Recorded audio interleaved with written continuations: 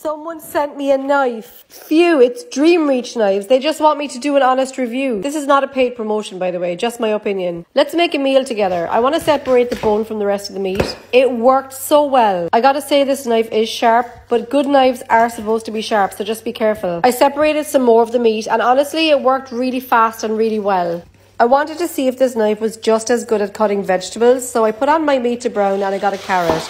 It sliced through it perfectly and it felt really comfortable to hold.